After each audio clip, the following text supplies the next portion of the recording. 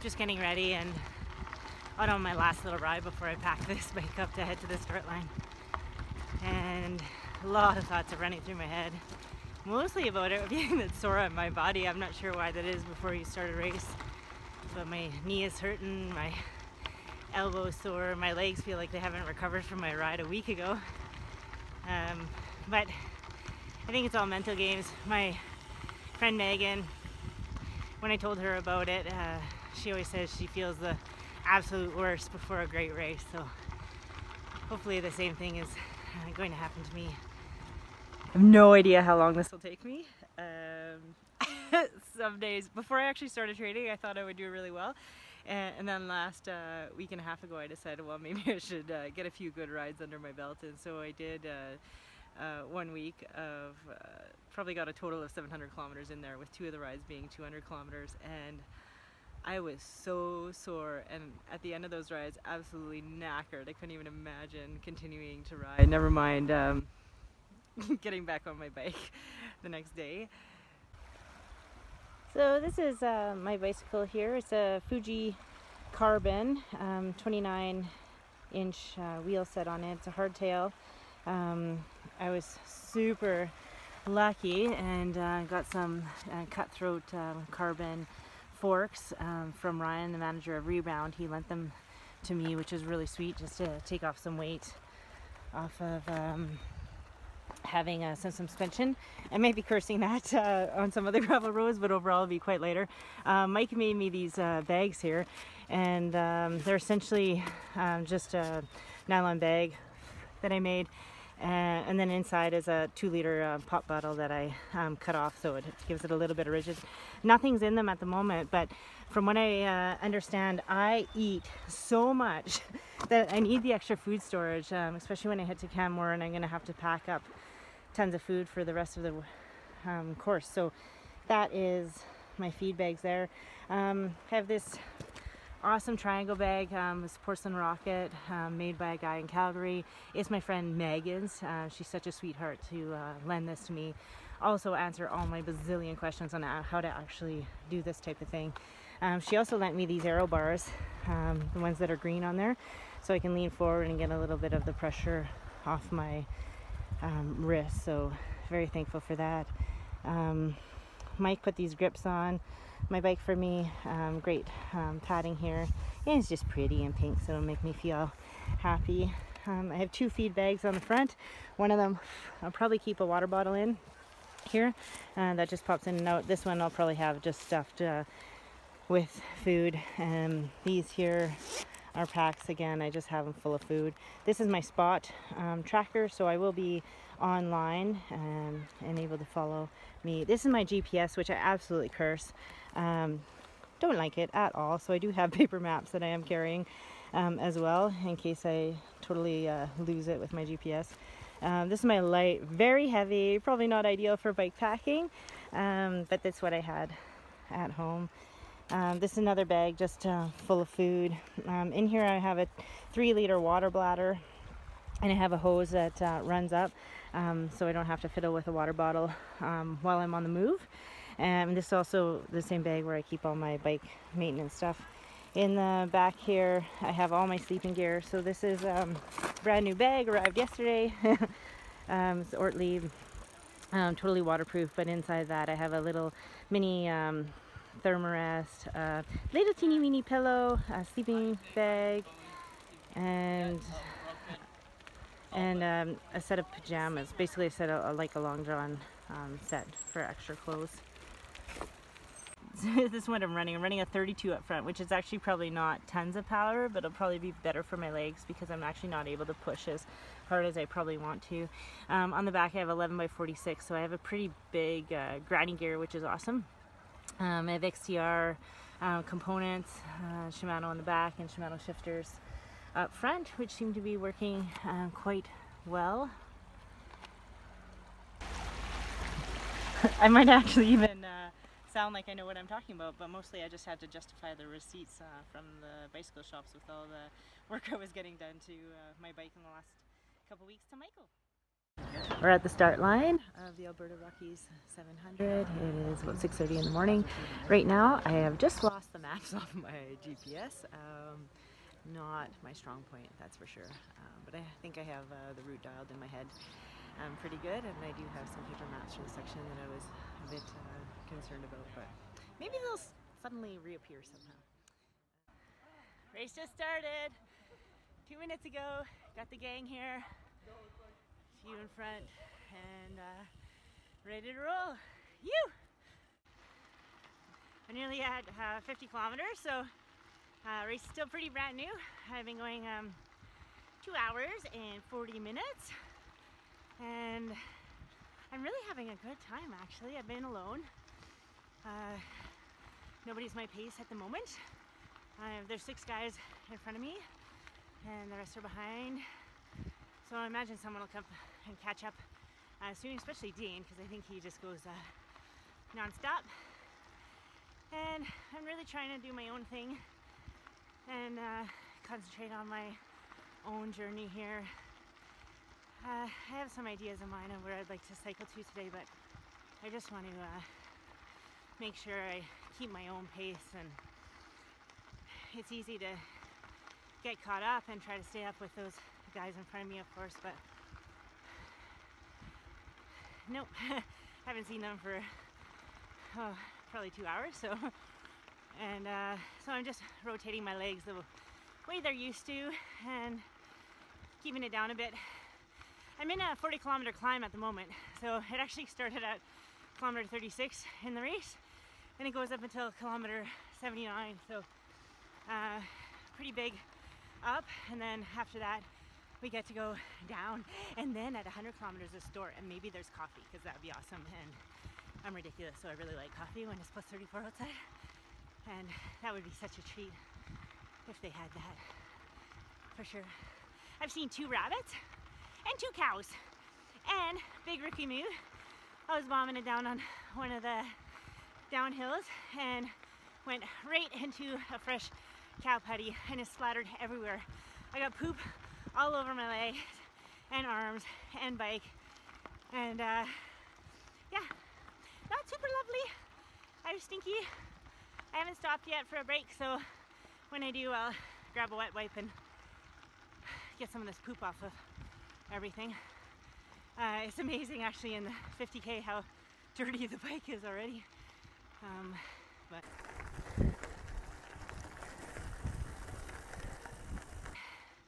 I'm in a 40 kilometer climb at the moment.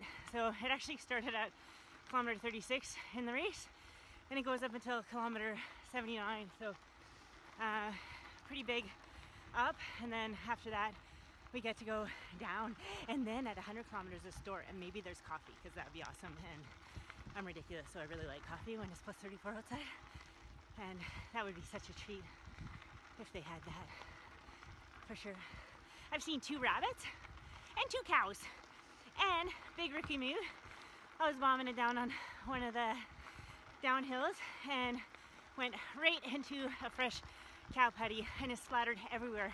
I got poop all over my legs and arms and bike and uh, yeah, not super lovely. I was stinky. I haven't stopped yet for a break so when I do I'll grab a wet wipe and get some of this poop off of everything. Uh, it's amazing actually in the 50k how dirty the bike is already.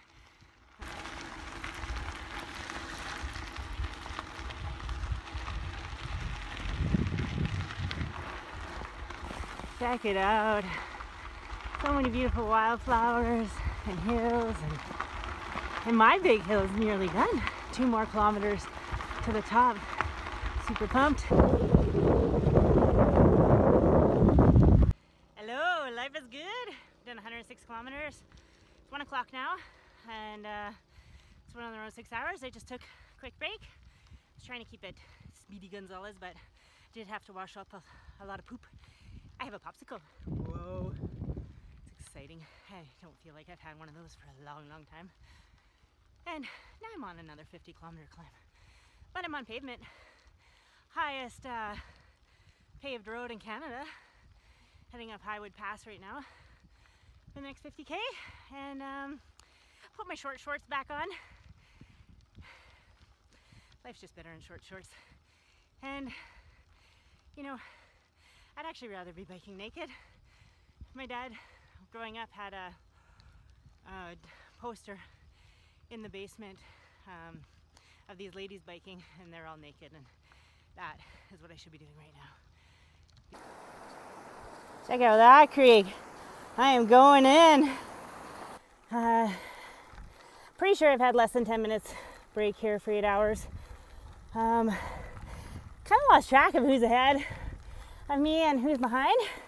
Doesn't matter, I'm on my own little solo journey, though I did make some friends. And I have five horseflies following me. They've been with me for a few hours now. And only one's bitten me. That's nice. And I think they like all my sweets that I have. I feel like I'm in kind of a safe zone right now to listen to music, so just rocking to it, getting up this uh, hill, still climbing.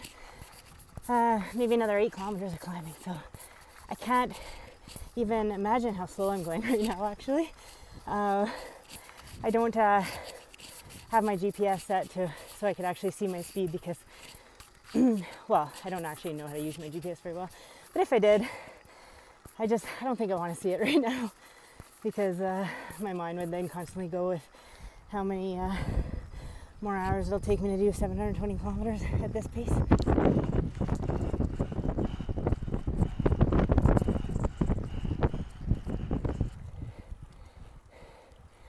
There is bighorn sheep everywhere. This is a good sign. Look at that, 7% down. You! Hello. well, I thought I would update everyone. I'm at 178 kilometers. Mostly I was kind of feeling bored. So I thought I should make another video. I have about four more kilometers, so I think I'm up this hill, which is cool. And then after that, I feel like I'm on my home road, which is so cool that I get to go to Canmore today. So um, after the next 4K, I kind of know the road pretty well. Uh, spent a bit of time on it alone biking. So, yeah, it's been really good. Um, it's 5:36 right now, um, so getting up there in time, close to 11 hours, I guess. And uh, things are feeling pretty good. I'm having fun, anyways. Pedaling for uh, nearly 12 hours, I guess. And it's going well. Um, I'm on my, feel like my home road, Smith-Dorrien Road here. It's, uh, yeah, it's been such beautiful country and uh, absolutely incredible.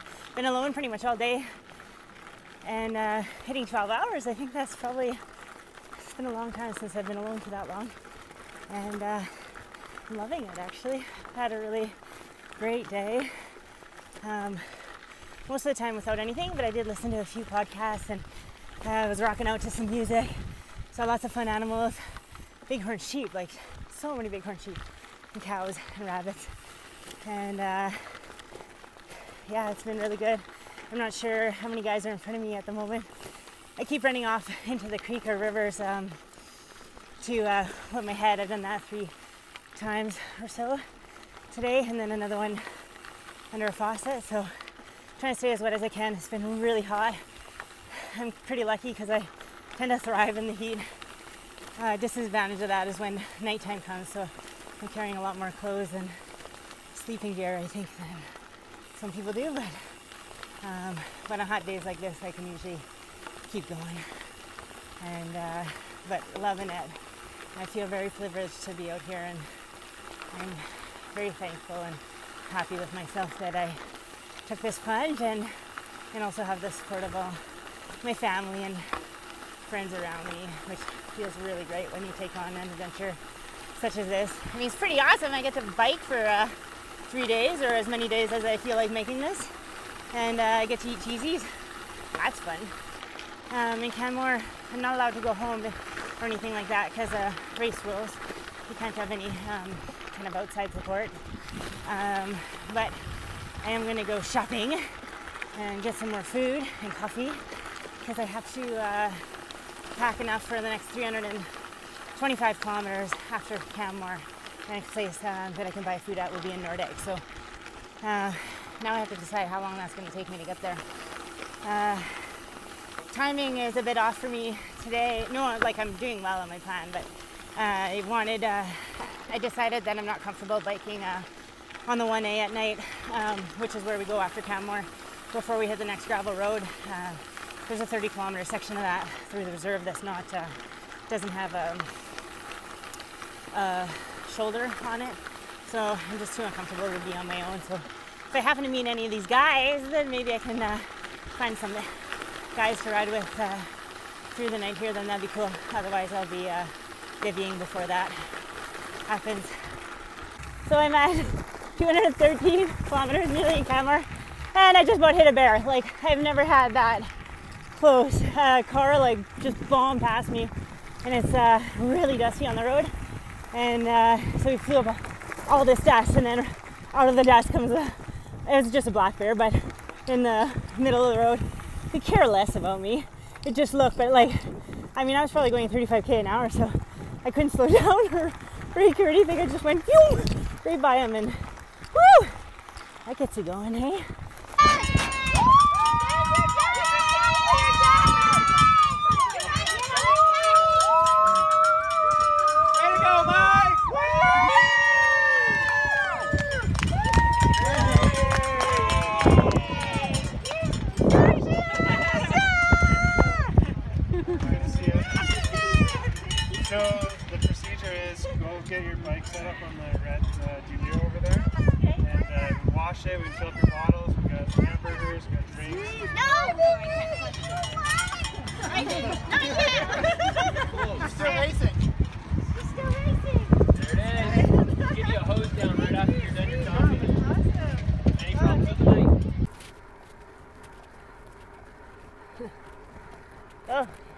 Think you can see me. Oh, it's night. Anyways, that's all it was. It's uh, close to midnight, and I'm gonna camp soon. Good morning. Time to wake up and do it all again. What a beautiful morning. I did not sleep at all.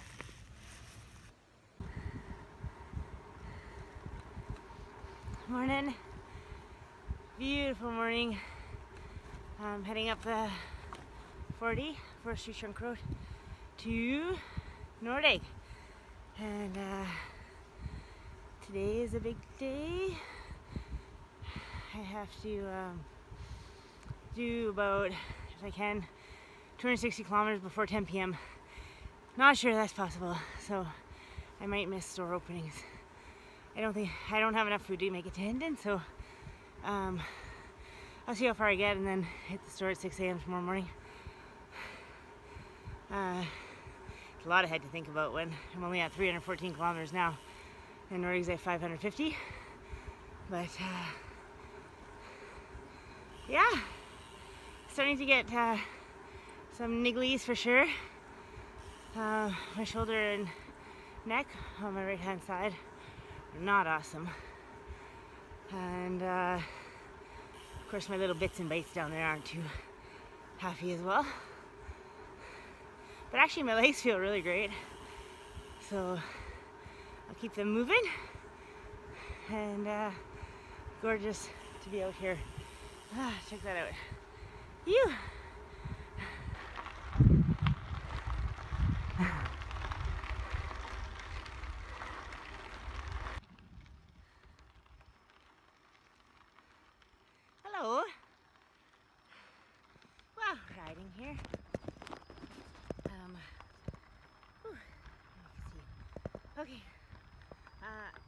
this was gonna be a flatbed, but there's no flatbeds today. Oh my gosh.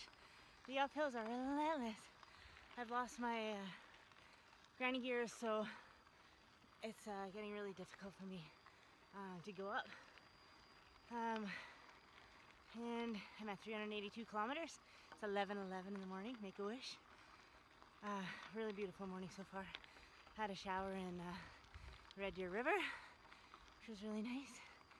And uh, yeah, keep on trucking. Kind of losing. Uh, I don't think I'll make it to Nordegg tonight, but I'm gonna keep going and hopefully I'll get close. Set me up for tomorrow morning. That is a steep looking road. Users. It's a beautiful uh, little creek here. I just took the opportunity to fill my water because I was dying. There's a way bigger hill in between my water sources than I expected, so feeling a bit depleted right now. So I'm actually sitting down and eating, which I think is the first time since I started this race. I am not a speedy person today, though. Oh my gosh. Um, I don't have all the gears on my bike, so I'm having a really hard time climbing and sitting. it's good because I stand a lot. Um, 80 more K till Nordegg. Not sure I'm going to make it today.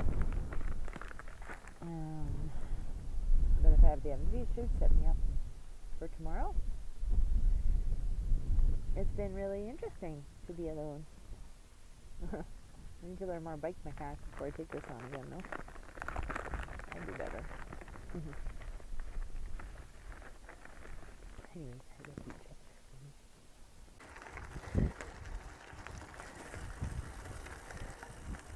Good evening.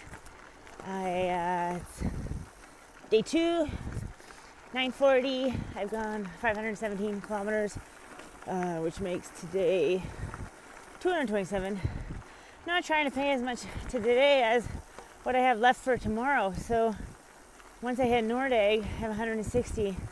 I'm not going to hit Nordegg until I'm at like 550, 555. So another 35 kilometers to Nordegg. So whatever I can get done today would be awesome. Uh, I'm going to be brave tonight and camp stealthy somewhere along the trail here. And uh, looking forward to that. Good morning. I freedom camped. I'm so proud of myself. I don't love it.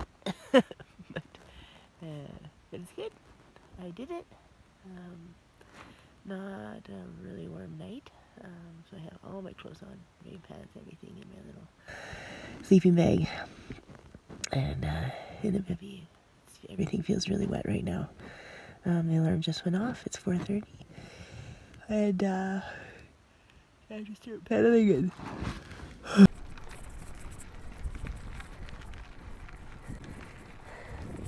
Hello. It's uh it's gonna be a good day. It's day three and uh day 41. I have gone I don't know, I started pedaling on five. But then I got to go for coffee and that was so awesome. Because yesterday I had no coffee. That's like the first time ever. I think. Well, for like 10 years anyways. Uh, yeah, it's been quite the experience. I knew I'd really be having to push myself and and that it would be difficult. Um, yesterday was definitely hard. I really uh, had to dig deep. I had some low points. Never cried, but it just wasn't easy. That's for sure. Uh, but it really felt good about where I was able to make it to yesterday and set me up for today, which will hopefully be a success. Otherwise, it'll be a sleep in a washroom if I get too freezing cold with rain coming in. But I have the campgrounds marked, so it's always a possibility. Seen two owls yesterday, a fox, uh, a fox I had to yell at to get off the road. Lots of deer, so many horses. They're like really beautiful horses, and they just seem wild because it doesn't seem like anything's around or taking care of them, but I'm sure they are. And lots of cows as well. So really pretty. Uh, I spend about probably 60% of my time without any music or anything. And then when I feel I really need it, then I play music or uh, listen to some podcasts that I downloaded. All the podcasts I downloaded are inspirational ones. Um, so that definitely helps when I'm not feeling super inspirational myself. Um, but today I feel good. It was a hard morning, hard, hard morning to get into Nordegg. Hills are a killer, and the downhills were not easy either because they were really loose and you really had to concentrate. So, but I just had a warm sandwich and uh, coffee, so I'm feeling optimistic again. So, hopefully, I'm on the inside here That'd be great because all my sleeping stuff's wet, so I don't want to pull that out again. And I don't know how people do this for 20 days in a row. Seriously. Hats off to them. The clouds are coming in, so I'm a bit nervous that uh, because all my stuff is wet. So I'm taking five minutes and trying to dry out my bivvy sack and my sleeping bag there and eat a BLT sandwich that I picked up in Nordegg this morning. Uh, the ride today is going good. I'm just, these are my cheat sheets. So I make this uh, for every um, uh, section, so it kind of tells me what I have coming up and what hills and what the elevation is going to be like, and where. As, uh, I also have like camps marked on there, um, which I know at the campground that at least find uh, water. Hi. I wanted to share my tailwind with you. So exciting. I think it's the first one. And it's so nice. And I came at the right time because I'm going up again. And I didn't know if it was going to last more than a minute, so I thought I would share it. And that's the thing about being alone. It's, I mean, I'm not, I mean, it's only been only on my third day, so I can't say it's totally lonely, but it's kind of weird to not share these experiences with somebody, and that's never something I've really done before. Um, I've always loved traveling with my acorn or my teammates. So yeah, it's uh, being alone is is uh, pretty pretty wild. I don't have to share my ships. It's my console. I'm having I'm having a snack break. Can you see it? Mm. I got peanuts and chips on the go right now. Um, things are good body's swelling up. Legs are pretty swollen. My lip was really swollen for a while there, but it's calmed down now. I'm not sure what was going on there, but um, I'm at 645 kilometers, but technically only 630 because of my little side food trip. So less than 90k left. So oh, I sure hope it's uh, done today yeah, hopefully, uh, come on, tailwind.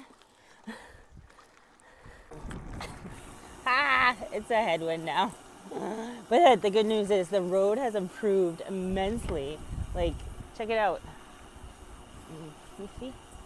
Like, it kind of feels like pavement, even though it's not, but it's a lot of logging trucks on here.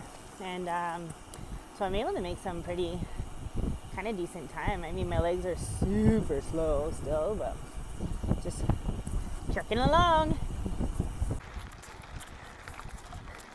You wondering what I do to entertain myself while I pedal? Here's a song for you. Heading up north to the land of the mines, pedaling my way into Hinton by nine. Meeting up the road in 49 hours, naming every single wildflower. Hoping a rally I can see my baby tonight. So rock me, mama, like a wagon wheel. Rock me, mama, any way you feel. Hey, hey, hey, mama, rock me. Rock me, mama, like the wind and the rain. Rock me, mama, like a southbound train. Hey, hey, hey, mama, rock me. I also talk to my legs. They really like that. Say, go legs. You're doing awesome. Only 23 more kilometers to go. Keep it up. You're so strong. I know you're looking very swollen at the moment, but I'll treat you so good with hot tubs and cold river baths and hours of therapy later this week. You got it. Just walking my bike for a bit. It's only 20k left, but feels like forever. so funny because 10 minutes ago I was on such a high. Ooh, the highs and lows. Can't quit now, that's for sure. But keep expecting another biker to come behind me because I feel like today was uh, not speedy, but it was really great. It was so beautiful and challenging, but I'm really proud. 20k, I should get back on. Okay, 10 more feet. It's not even an uphill, I don't think. It felt like an uphill. Oh, it should be a downhill soon though. so happy right now. Uh, two more K. I see the lights. I have. I'm not even pedaling anymore. I don't know. I just want to take it all in. It's uh, man, it's emotional for sure. Um, so thankful I was able to give this a go and thankful for my body and my bike and all the support that I had uh, from family and friends and everybody uh, cheering me on was just incredible. And uh, thank you. Just amazing. Ah, I should stop. There's a stop sign. First stop sign. Woo! Yay! Fifth place overall, first woman. AR 700. How does it feel? It looks like I don't know my brain anymore. Go touch the sign, otherwise it doesn't happen.